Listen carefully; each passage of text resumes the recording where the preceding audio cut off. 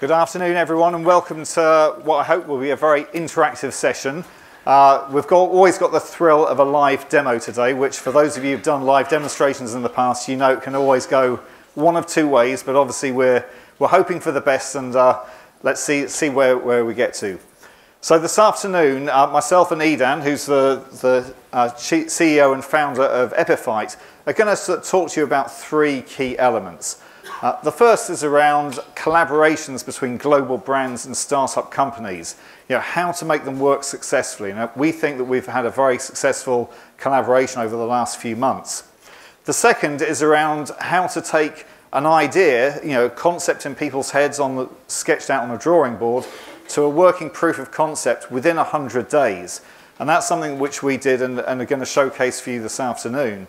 And then the third piece is about how we then used that uh, proof of concept to then showcase and share with key stakeholders, both within Visa, across some of our bank uh, clients and members, uh, and also with consumers to gather live uh, research and feedback of how uh, a new type of remittance capability could work. So all, all to follow in the next few minutes.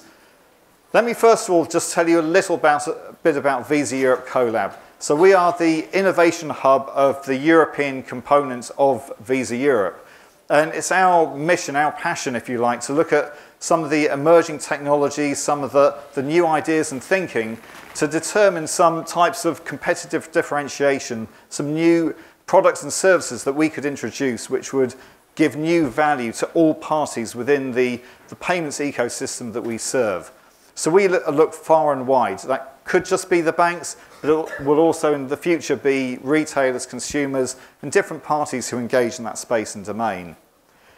Now, it's very important to say, and it's a key element of this conversation this afternoon, is that we recognise we cannot do this alone, that we, Visa Europe, have some real skills and capabilities, uh, but there's also areas which are new for us, and we have been scouring and looking for the very best talents around the startup community and other organisations to collaborate with to really fuse together some of the, the best of breed of what we can bring uh, and new organisations and fresh thinking can bring as well. So we're very open to ideas and to collaborations, hence the, the name Visa Europe CoLab. The space and domain we work in, we, we sort of think and look at payment ideas, both the next generation, if you like, the evolutionary opportunities. So it could be the next generation of uh, identity and authentication, of contactless, that type of thing but also look at revolutionary ideas as well. And I would, from my perspective at least, uh, the work we've been doing within the blockchain domain and looking at payments and looking at what future things that could offer uh, an organisation like Visa definitely falls into the revolutionary space. And a lot of the work that we do, we do in workshops, engagements, really trying to tease out what are the problems and challenges we're trying to solve, both from a business perspective and from a human perspective. Know, what are the things that we could explain in plain English so people understand what we're trying to do? Now, even within the payments domain, it is a, a quite a vast area, and we recognize that to be effective, we needed to hone some of our thinking and uh, uh, energy. And what you see on the, the screen behind you are the six key areas of focus that within Visa Europe CoLab we've been putting our time and energy in over the last year Uh, and I will mention that we only started and set ourselves up uh, just over 12 months ago. And blockchain is an area we're really interested in, really passionate about, and recognize that it does cut across a number of these other themes as well. So we've been exploring some thinking around identity across the blockchain or uh, sort of inclusion opportunities and how that may work with uh, cryptocurrencies in that space. So we're, we're also looking for the interconnectedness. Now, when we, we started putting our time and energy into thinking about uh, some of the, the power and potential of the blockchain and distributed ledger technologies, we, we needed a way of trying to start to concentrate our thinking. And we, the way we did it was we looked across all the growing use cases, both financial and non-financial, and then started prioritizing them in, across the, the landscape visual you see behind me. Uh, and out of those, we started highlighting the, the areas that we were most interested in trying to, to solve first, either because they were adjacent to some of the products and services we offer today, or we could see a natural evolution. And that's what really got us excited and interested around remittances. Now, from a remittance perspective, there was a recognition uh, from our innovation unit there's an opportunity to tap into a future revenue stream, but you've got to start somewhere. You've got to start with some experimentation thinking and some, some concepts and ideas. And so we wanted to look at how we could extend some of the capabilities to new constituents and new parties. And we started off with a very simple premise of saying, could we introduce a remittance service which was both cheaper, quicker, and easier to use from the consumer perspective, but benefited all parties uh, in between? And finally, we recognise the power and strength of the, the global Visa brand and our processing capabilities within the network that we support and serve. But what our sort of long-term vision is to look to see how we could deliver that type of value across other payment networks as well. So to be almost like a network of networks. And what we wanted to, to test in this particular proof of concept is how we could traverse across different payment networks and show how value could be transferred. Now, when we started that thinking and we looked across different companies who offered uh, original ideas and thinking in that space. And we're very excited about what we saw with Epiphyte. Uh, Epiphyte, as Eden will explain in a minute, has some real strong capabilities and some real passion and thinking in this space and domain. And we saw a real opportunity to, to partner together to, to put a proof of concept. And within 100 days, we, we then ran a very effective test, which we engaged different communities to gather feedback as well. I'll just briefly mention before handing over to Edan some of the key things that we learnt. Uh, you'll see from the, the demonstration how quick and easy some of the, the work activities were, how we could move our payments across. Uh, but also we were able to practically demonstrate this network of network effect where payments were going from a, a simulated uh, Visa account across the Bitcoin network and then arriving in an, as an M-Pesa text credit. So going across three payment networks. So it was really trying to pull together some, some of those elements that gave us the, the power and energy to, to kind of work and operate in this space. So without any further ado, I'm going to hand over to Edan, my partner in this work activities, Thank who's you. going to take us through, uh, talk a bit about Epiphyte and then how the, the proof of concept works. Thank you, John. Um, it's been a real pleasure for Epiphyte to work with uh, Visa, the single largest payment provider in the world because what Epiphyte does is we're seeking to help financial institutions utilize the permissionless networks that create the blockchain or what we call the interchain, the set of protocols to perform transactions in a more efficient manner. The thing is, we're rapidly coming to expect that payments within a payment system should be basically free and basically instantaneous, even when we're talking about domestic payments, uh, interbank payments. Maybe not here in the US, but definitely in the developed world.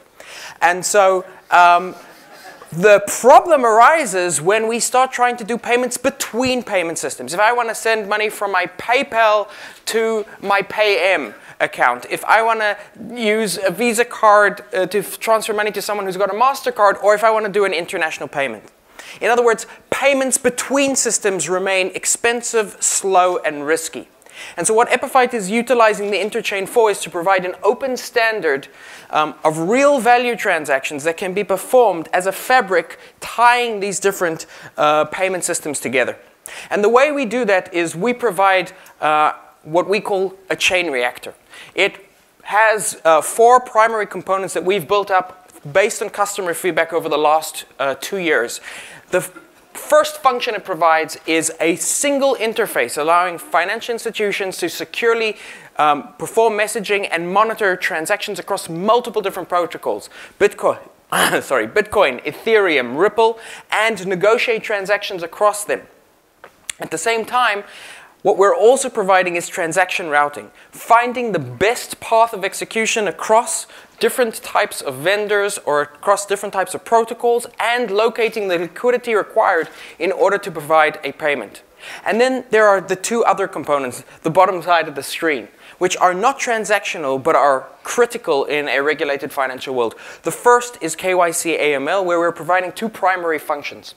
The first is the ability to take information from the institution, tie it intrinsically to the transactions that are being performed by the KYC individual or entity on the blockchain, and track their transactional experience even past uh, what the institution would usually be able to see, and then also be able to share this information over the blockchain as part of the transaction between institutions, providing a new way of doing fraud monitoring and AML.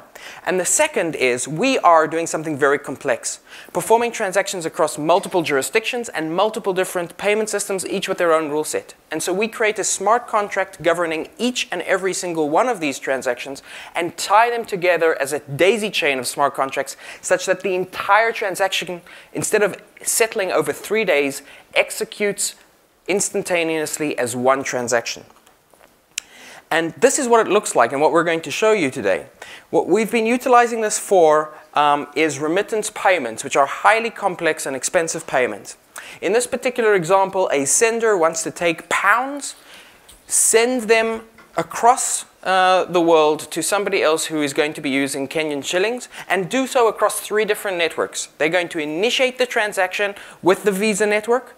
It is going to be converted into, those funds are converted into a digital asset in a way that the customer doesn't have to understand. As far as the customer is concerned, they're only dealing with pounds. And that digital asset is then provided uh, to the M-Pesa network as mobile money. And this whole thing happens in real time. And these are the two big problems we're solving. Um, the first is how do you manage in a pseudonymous system KYC and AML? And the second is how do we deal with volatility? So with KYC, we're going beyond what is today possible in best of class systems because of the ability to share and the ability of transparency provided by the blockchain. And um, we can provide for KYC and AML information sharing, allowing fraud detection across multiple different institutions. And then in terms of volatility, both the institution and their customers are never exposed to volatility. We're going out and finding market prices before the transaction is executed. The customer knows what is going in and exactly how much is coming out in both of the currencies before it executes. And so what we've managed to achieve here is 85% cost reduction compared to what we're doing today, end-to-end -end tracking, real-time payments where it usually takes much, much longer, up to three days, and near global coverage through remittance providers who are already integrated with the blockchain. So let's see uh, what this looks like. So on the right, you'll see um, uh, my uh, phone. I'm going to just log into the app. And here I will be able to select a card. I'm going to choose a, one of my Visa cards. I, you can see my balance. Um, this is not my actual card. This is a test card. Uh, we are not going to be transferring real value today. We do transfer real value, but I know you guys are watching and I know what some of you people are like. Um, so, uh, so I'm going to pay. Uh, we're going to pay uh, to um, Andrew, who's one of our developers in Kenya and actually has an M-Pesa account. And we are going to send, we could send um, any amount. Um, we're going to do 100 and, here we go, 120 pounds. And um, what you're going to see here, um, at the bottom you see a Bitcoin address. Usually we don't expose this to the customer, but we wanted you to be able to see what's happening, so we're exposing it to you. Um, this is a unique address that we have found through our routing mechanism, which is the, uh, provided to us by a particular remittance provider, the one who's going to provide us with best execution. And now I'm going to click send. And um, you can see that the transaction has sent, as far as I'm concerned, to the customer. So let's see what Visa see. So Visa have end-to-end -end tracking, and you can see here the backend. Um, you can see that the current status is funds reserved. Uh, that means that the funds were reserved for the transaction. Um, and we go through several stages in every single transaction. The average uh, settlement time for a transaction is under three minutes. We are actually able to do zero confirmation transactions in Bitcoin and in the other systems. I won't go into how, um, but it's one of our secret sources. And you can see um, that already it's starting to progress. The funds have been locked and the transaction will continue to uh, settle. And probably by the time I'm done, uh, we're done talking here, the transaction will have fully settled. Um, what we're doing here is we're sending for the consumer pounds. It's ending up as Kenyan shillings. And um, we're doing it over three different payment systems in close to real time with live funds. Uh, and what are the next steps for us? What we're now doing in partnership with Visa is we're going to uh, other financial institutions, their Visa's customers, working together to integrate it uh, with their systems utilizing the Visa scheme and um, begin uh, pilot rollouts for consumers of these banks to create a truly seamless, instantaneous global payment system. Thank you very much.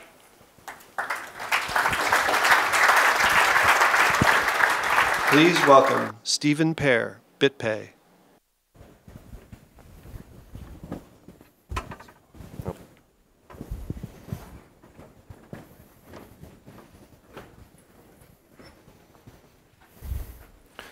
Go. Uh, so, uh, thank you. I, I, today I wanted to share just a, a brief update on BitPay's business. Um, we're actually a five-year-old company in the Bitcoin and blockchain space. We actually, almost to the day, we incorporated the company May 31st of 2011. So that makes our team perhaps uh, the oldest and most experienced team in the Bitcoin and blockchain space. So today I wanted to share a few growth stats with you, uh, as well as a few of our recent product innovations. Um, and I'll also have a new product announcement. So I think I have to point over here to get the guy over there to move my uh, uh, prompter here. Um, they're on two different systems. Uh, for those of you that might not be familiar with BitPay, um, we are the uh, world's number one Bitcoin payment processor. Uh, we process more transactions every day than uh, all of the other Bitcoin payment processors out there, uh, probably combined. We have uh, a suite of tools that allow you to do both payment acceptance as well as payment disbursement. Um, some of you might know us best for our e-commerce tools. In fact, some of you might have even paid for your registration to this conference using our platform. Um, but we also have in-person payment tools. We have solutions for payroll companies, we also have tools that allow people to manage, or companies to manage, mass payouts all over the globe. We also have business-to-business -business billing tools, for, uh, primarily for supply chain payments.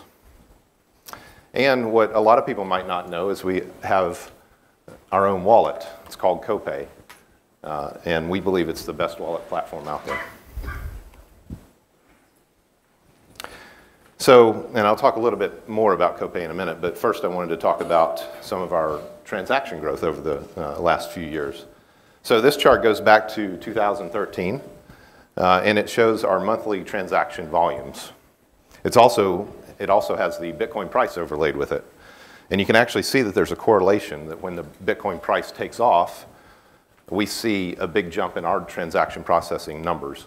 So it's kind of the wealth effect where when the price of Bitcoin is higher, it stimulates economic activity. People want to spend their Bitcoins or use their Bitcoins.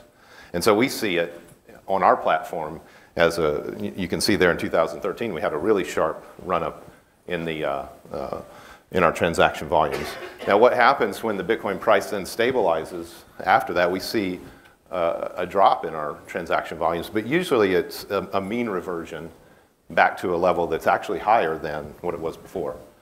And what's happening there is somebody that may have been speculating in the price of Bitcoin, holding Bitcoins as an investment, sees the price go up and decides they want to use it to buy things.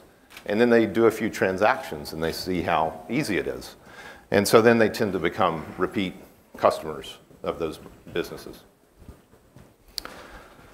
Uh, so as you can see, uh, this chart is only up to March, um, but we have just set a new all-time record in monthly transaction volumes. And you can see many months over the past few years, uh, we've been setting new records in terms of transaction volume. And I expect April will be uh, even higher uh, and a new record. Uh, on average, we process over 4,000 transactions per day and over 100,000 transactions per month. Uh, now, this is small compared to MasterCard and Visa, but for our small team, we're really excited about this. And uh, we're a little bit out of sync here. Um, so an another product that, you, that uh, is lesser known, but we've been focusing more on recently, is Bitcoin mass payouts. this product allows you to easily manage, um, a, a, company to easily manage um, payments to a large number of recipients all over the globe. So think about app stores where they may need to pay developers that are located all over the planet. Um, the, our solution is much cheaper, much easier to manage, much simpler than the systems that companies are currently having to deal with. So we serve some companies, a few examples are a company in Germany that's a payroll processor called Pay, uh, and then a, um, a video game skin marketplace or in-game uh, trading site called OpSkins. A lot of people trade uh, CSGO items on that site. These platforms, you know, a, a platform like OpSkins allows people to make a deposit, trade their swords and their cloaks and whatever, their weapons, uh, and then also withdraw through our platform uh, in Bitcoin. We launched this product in the beginning of 2014, and over the last year, we've seen a 2,600% growth in this, this, this, this product. It has a robust pipeline. We have new customers signing up every day uh, and every month, um, and we're really excited and we expect to continue that growth. The next product is B2B billing. Uh, since, and actually, this product we've had since our launch back in 2011. So we've had business-to-business billing for, you know, the entire history, five years. Um, this represents about 10% of our volume, uh, and it's a very important component of our service offering and one which we're, you know, putting more emphasis on and focusing uh, a lot of our efforts recently. Uh, these transactions tend to be about 25 times larger in value than a, a, typical consumer transaction. And so that means we can go out and sell businesses that need to do supply chain payments. Maybe it's a company that needs to pay a vendor that's located in another country, and they find our platform and our billing solution a much cheaper, much faster, more, and more cost-effective way to get that done. It, it really just simplifies that whole process for these companies.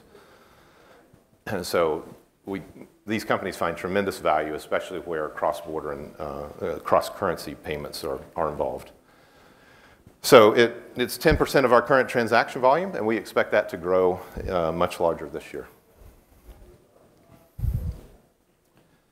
Uh, so one of the segments that we're really excited about as a company is the video gaming segment.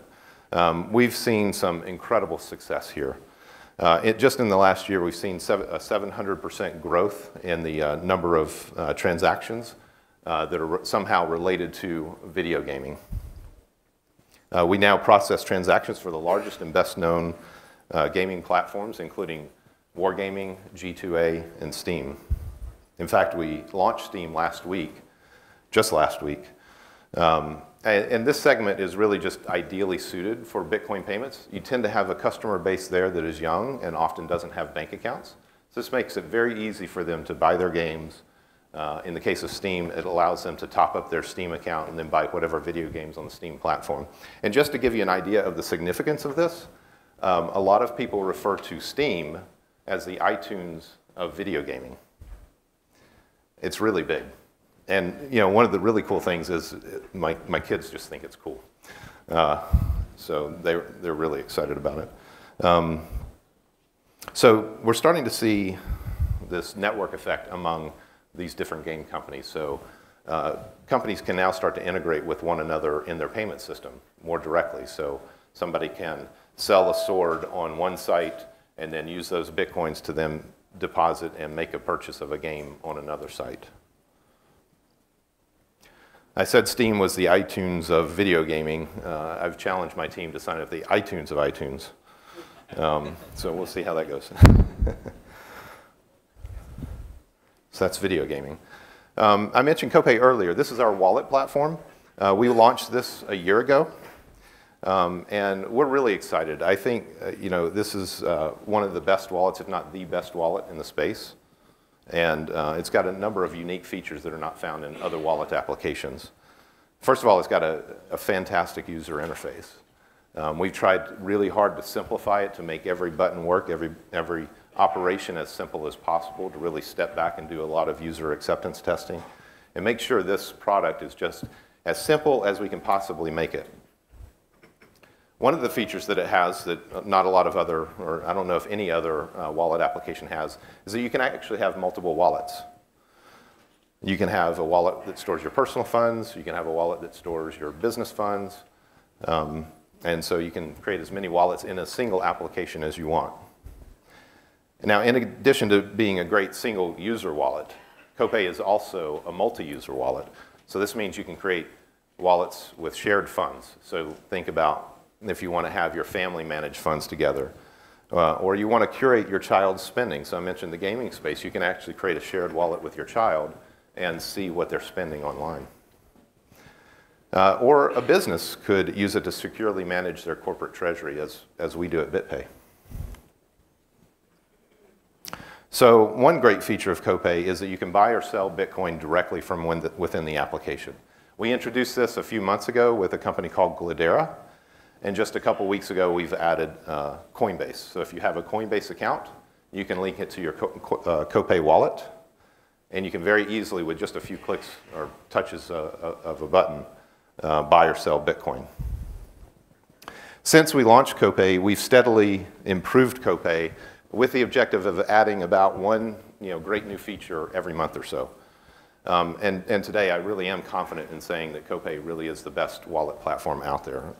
Um, you, it's really fantastic. You should just you should go check it out. It's in all the app stores. Uh, you can go to copay.io and install it. It works on every desktop and mobile operating system out there. So check it out. So I mentioned we were going to announce a new product. Uh, since we started BitPay uh, five years ago, uh, we've prided ourselves on giving people more ways to use their Bitcoin. Because we believe that if you can use Bitcoin in more ways, it, it makes Bitcoin itself more valuable. So um, a lot of people say that by adding new merchants, you're inducing people to sell their Bitcoins and it drives the price down, but it's actually just the opposite. Um, if you have more ways that you can use Bitcoin, more people are interested in actually holding and using Bitcoin. So we do recognize, though, that it's going to take some time before all businesses start accepting Bitcoin. And we want to make it even easier to use Bitcoin, uh, even at companies that might not already accept it. So uh, today, we're launching the BitPay Visa debit card. With this card, users can instantly convert Bitcoin to US dollars and spend anywhere that Visa is accepted. It's compatible with all Bitcoin wallets, so you don't need a special account at some exchange uh, to link up with this card. You can use any, any of the Bitcoin wallets that are out there, your favorite one. It also comes with a great mobile user interface for managing the card. Uh, in fact, we think it's the best mobile experience of any card program, Bitcoin or otherwise. The best part is that it's free to load value using Bitcoin onto the debit card.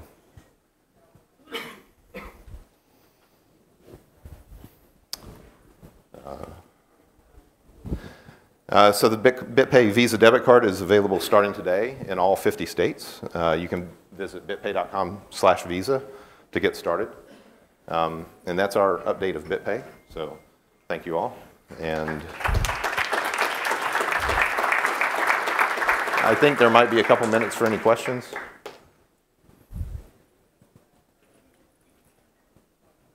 Are we doing questions?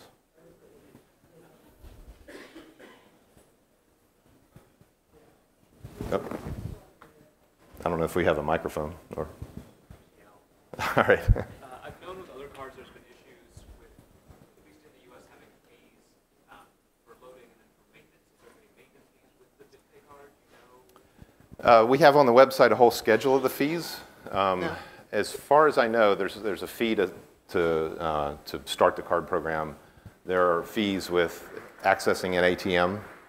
Um, but aside from that, no, loading Bitcoin is, we, we intentionally wanted to make that free of charge. Any other questions? No.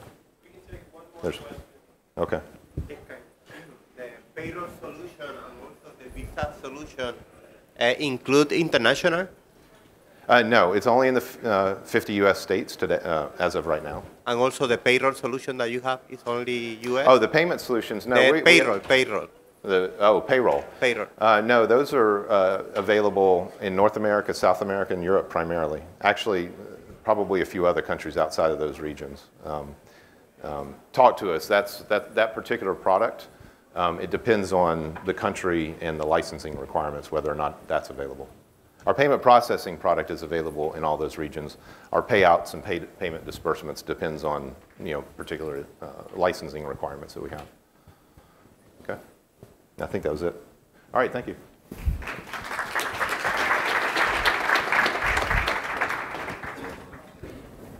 Please welcome Bill Barhydt, Abra.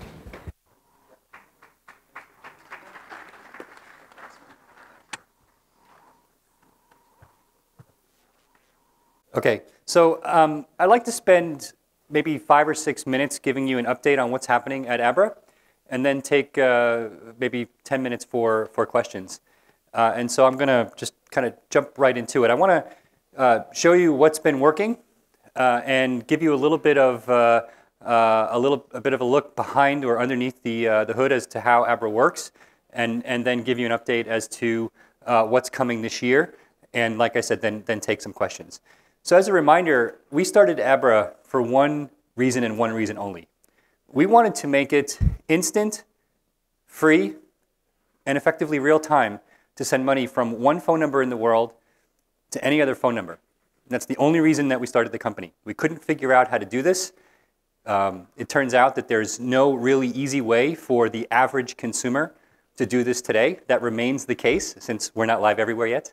Uh, and uh, this is our singular uh, uh, mission at Abra is to solve this problem.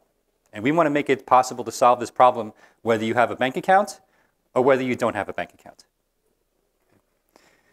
So the Abra product, as it exists today, basically does all of these things. It allows you to send and pay globally. It's real digital cash, and I'm going to give you a look behind the scenes as to how the digital cash and our synthetic currency model works. It's an iOS and Android-based cash wallet. We do not store consumer funds at Abra. I have no access to the private keys on your phone. You are holding your own funds with Abra. We're not a hosted wallet. It's not Coinbase with hedged funds. It's not uh, uh, another you know, Circle type service with hedged funds. You are literally managing your own digital cash directly on your phone. You're not taking foreign exchange risk, which I'll explain to you how that works. You can buy and sell digital cash for purposes of depositing and withdrawing funds in cash via Abra tellers or via your bank account, and I'll show you for the first time how that works. Um, and it's as private as paper cash in the sense that um, you're holding your own keys. And Abra tellers have the ability to, to earn funds, and I'll give you an update as to, as to where we are with that. So on your, um, on your left, that is a map. I actually made this, uh, my team made this map on Saturday. I think that's Manila. Uh, those are live tellers operating right now in the Manila area. We currently have uh, over 1,500 tellers live in the app today with a massive backlog of, of tellers. I'll tell you up front, the biggest challenge that we have as a company right now is onboarding tellers. They're coming at us fast and furious. Um, and I'll give you some stats that, that, that make the problem even a little bit more daunting, although I think we have a solution to the problem. Um, so these are, are uh, exactly how the user sees the app today. Um, where the countries that were live, it, supposed, it, supports both buying and selling of currency via your bank account, uh, as well as um, using the, the cash tellers that you see on the, on the screen. So basically, uh, the sender can buy digital currency, they can send digital currency, and the recipient can sell digital currency. All three processes basically use Bitcoin blockchain in the same way, completely transparent to the consumer. They don't have to understand what's going on behind the hood. Okay? So again, adding money is simply buying digital currency, sending money is sending digital currency, and withdrawing money is selling digital currency either back to your bank account or in cash at a teller. So now I want to give you a, quick look behind the scenes at what's going on, which we don't talk about very often. Uh, and then I'm going to um, give you an update on our launch and then I'll take some questions. Okay, so there's big, three big tech challenges in making Abra work, right? We want to make it possible to not have to know anything about public-private key cryptography, anything about Bitcoin wallets, but be able to send dollars from here and have euros land over here, right? And if you have $10 here that's worth 12 euros here, it darn well, it darn well better be 12 euros uh, two days from now if it's, if it's still in my pocket, meaning I'm not taking any, any volatility. And I better give the consumer lots of easy ways to get that money on and off my phone, uh, regardless of where the app is being used. So the first way we solve this problem is um, with two products that we created. Both are live now. Abra Send, which is the ability to send money from any, any phone number to any other phone number, and Abra Pay, which uses the same consumer wallet to send money to any other any merchant. Our merchant wallet basically works the same way as the consumer wallet, except it's a multi-sig wallet running on a server. There, therein, we also have no access to the merchant's funds. Uh, we simply give them way to manage their own liquidity in and out of their wallet to their bank account.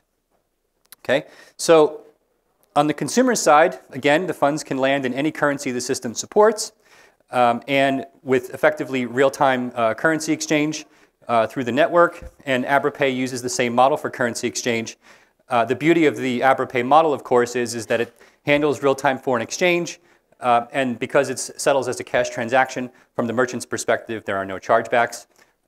Of course, the merchant can enable whatever kind of return policies they want, but that's independent of uh, the traditional uh, card acquiring model for, for chargebacks. Okay, so Abra Cash. So this is, we, we liken this to the world's first synthetic digital dollar. A digital dollar means in our world that there's no paper in a vault. Okay? So this is counterintuitive, right? So the analog is I hand you $100 worth of gold, and I probably hand you something like a put option on the gold at the same time that fixes the value of that gold at whatever its strike price was at the moment I hand it to you. Okay? How in the world do you do this in um, some digital currency without Abra becoming God knows what from a regulatory perspective? So this was one of the big um, difficult problems that we solved a couple of years ago that led to the, to the creation of Abra. The idea is to basically use Bitcoin as the underlying asset and then use smart contracts or scripts directly on the Bitcoin blockchain that effectively tie the value of that um, uh, Bitcoin to the strike price at the moment that the, that the um, stored value is created so that if the consumer perceives they're holding $100, in 36 hours, if the price of Bitcoin has gone up 10%, they're still holding $100. And if it's gone down by 10%, they're still holding $100. Okay? And the redemption and, and instantiation of those contracts is, is uh, a core part of what Abra's developed to make this work um, behind the scenes. So the third part of this is the liquidity management aspect of this. So in addition to what the consumer sees on the screen, behind the scenes, we have been working tirelessly for the past two years to build cash in and cash out mechanisms all over the world. I've circled the, the, globe four times in like the last nine months, I can tell you personally, just meeting with, with companies all over the world who are signing up to become uh, master teller partners in our network. And the response has been awesome. So you see here that there's several methods that we're supporting. We're taking different approaches for different markets, right? Some countries are mostly unbanked consumers, and in those markets, we're focusing our efforts very heavily on uh, the cash teller networks. Some markets, for example, in most of Western Europe, are very heavily uh, banked consumers, and we're focusing most of our efforts there on using the existing banking infrastructure. The, UX, the US is a mix, which is unique, and so we're going to be doing both. Um, eventually, every market will have all of the options, uh, but in order to um, get live expediently, um, we're going with what each market um, needs most in order to have a good um, user experience. But the idea is to have as many high quality, good experience ways to buy and sell digital currency into and out of your app as quickly as possible. Okay, so where are we today? So we have been live uh, testing the service for several months with uh, thousands of consumers. Uh, the feedback has been awesome. Uh, we're getting a lot of usage with uh, people who use the, uh, the app for private listing services vis-a-vis -vis Craigslist in, in other countries. Um, and the sellers uh, love it. The, the buyers no longer have to deal with COD or waiting in line. Uh, and these are person-to-person -person transactions. Um, we added, um, after launch, request payment function to uh, address the needs of that market. And uh, people really like that function a lot. Um, generates a push notification back to the, to the buyer who then agrees to the, to the transaction, which then signs the, the transaction and publishes the send to the, um, to the initial seller. We've had pre-registrations for tellers now in well over 90 countries, and as I mentioned, uh, we've put a process in place which I believe, um, start, starting later this year, will quickly allow us to start to deploy those tellers. Um, doing that in a way that marries with uh, a global liquidity system um, was, was non-trivial, but I think, I think we've got it under control. Um, and the interest in the AbraPay model for cross-border commerce has been awesome. Um, and so we're, we're now testing our, our first merchants there. So uh, our goal in 2016 is, is it's, uh, it's real. It's, it's, I wouldn't exactly say it's uh, non-aggressive, but our goal is to be live globally this year. That means that there shouldn't be a country in the world outside of countries that are prohibited um, by the US government for us to be live. uh, where we wouldn't be live, um, and that means send and receive across all countries globally. Uh, there will be some countries where we don't support the local currency, and they'll have to use Abra in dollars, euros, or some other country, or some other currency, excuse me. And our goal will be to backfill those local currencies as quickly as quickly as we can. And um, like I said, there'll be a combination of different types of bank and, and cash-based uh, tellers for liquidity um, in the system. So we are set up outside. It's hard to show like two or three or four phones at once. So come find us, and we're happy to show you a live demo of how Abra works. Um, and we can, if you bring your phone, I'll, I'll show you how to get it set up yourself uh, in the meantime. And I have, I think, like five or six minutes to answer questions. So I'd be happy to, to do that right away. Yeah. How do you address the, uh, the knucklehead problem? Basically, someone using your application to find someone and then they rob them. That kind of thing. Like find Yeah. someone with actual cash. Sorry. Yeah. So I was uh, the question was how do you address the knucklehead problem? Yeah. Um, the the person that looks at the Abra application and says, "Hey, they have cash. I'm going to rob them." Yeah. Like how do you address that? And are most of your tellers uh, brick and mortar now at Right. this moment? So there, there are two types of tellers in the system. Uh, one is what we call the master teller network, and these are partners who have dozens, hundreds, or in some cases thousands of stores, where they run uh, out of a central wallet the ability to buy and sell uh, digital cash at each point of sale. We have very little concerns about you know them robbing the consumer. Then we have the individual teller. The individual teller vetting process is part of what I alluded to before. And one of the first questions that we ask the individual teller is, how do you make money today? Right? Are you in a cash business today? Right? So for example, prepaid wireless airtime is something that I believe is, is um, driving a lot of those early registrations because that's a way that people know that, that they're making money. And we estimate that there's 30 million people out there today making money in some way buying and selling wireless airtime. Marries very well with the, the teller model. So that's part of the vetting process. Are you in a cash business today? No, well, then you're probably not a good teller for Abra, and we will self-select people in or out based on a lot of those filters. Um, and then there's other things we're doing in certain countries, like in the US, in order to meet FinCEN requirements that are unique to the US, which we'll, which we'll be announcing soon. Because most individual tellers in the US would never have heard of FinCEN. And so we have to address that problem for them because obviously we're not going to enable anybody to go to jail. Right? And we want them to have a great experience and make money at the same time. So, sure. Can you reveal some more details about the Bitcoin uh, blockchain smart contract you, you use for uh, value stability? Because we heard a lot about, about smart contracts on Ethereum and stuff, but on the Bitcoin blockchain, uh, the, the, the kind of uh, uh, the, the expressivity of the script language is very uh, tiny, and uh, we are very interested in the. Well, the good news for Abra is, is that the Bitcoin scripts really only enable one function. They're not meant to be Turing complete, but they do exactly what we need, which is they enable the automation of Bitcoin from a private key output to a public key input. Once you have that and you can script that, you can do what you need if you know how to do it. And then there's a, it's, it's a complicated discussion, but there's a pricing oracle, which then determines the price. And our goal over time is to decentralize that more and more via our liquidity management system so that there's no named third party oracle. The network itself is setting the price.